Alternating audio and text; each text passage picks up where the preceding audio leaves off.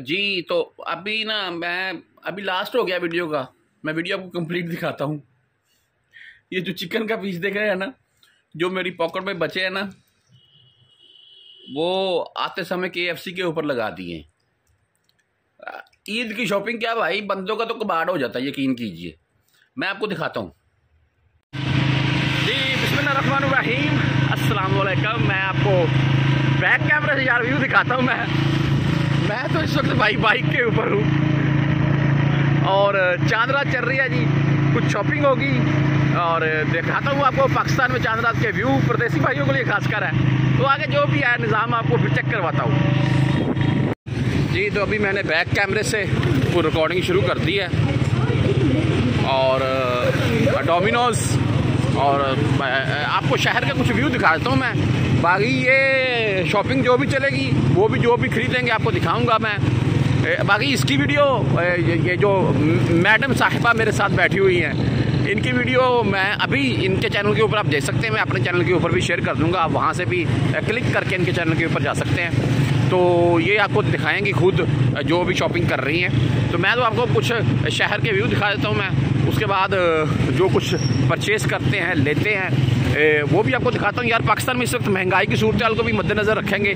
ज़ाहरी सी बात है, पता है, आवाम की चीखें निकली हुई हैं, आपको भी पता है, महँगाई को देखते हुए। तो पहले को अगर बंदा तीन हज़ार की जूती ले रहा था तो अभी वही जूती, भाई, पाँच छः हज़ार के अराउंड में है। तो इसलिए बंदे ये देख लीजिए काजा वालों ने कितनी अच्छी डिस्काउंट लगाई हुई है। तो डिस्काउंट से मुराद सॉरी ओपनिंग की हुई है fifty percent fifteen percent sorry discount की ऑप्शन भी दी हुई है। आह।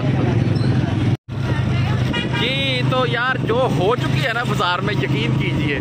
मैं आपको ना, अभी मैं बता ही नहीं सकता क्या कुछ लिया है। इतना रश है ना यार, बाज़ार के अंदर। वहाँ पर तो कैमरा भी नहीं चलाने का टाइम है।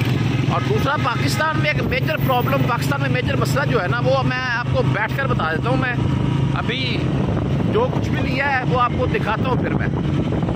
अच्छा जी फाइनली मैंने एक ये परचेज़ की है, और आप देख लें खेडी टाइप है, और मुझे अच्छी लगी, मैंने ये ले ली बाटा वालों की से।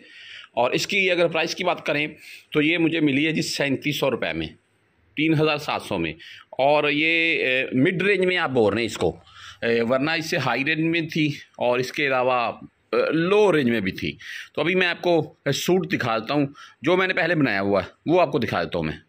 अच्छा कपड़ों की अगर बात करें तो फ़र्स्ट डे मैं वाइट सूट डालने वाला हूँ। वो भी अभी पड़ा हुआ है, वो प्रेस किया हुआ है तो वो पैक के अंदर था, मैंने बोला क्या निकालना।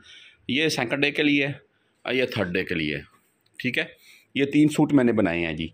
तो ये ईद की शॉपिंग थी यार, जो मैंने की, आपको दिखाई। बाज़ार में तो इतना रश है, यकीन कीजिए कि बाज़ार में से, बाज़ार में तो गुजरने को दिल नहीं करता है। अब वीडियो क्या बनानी?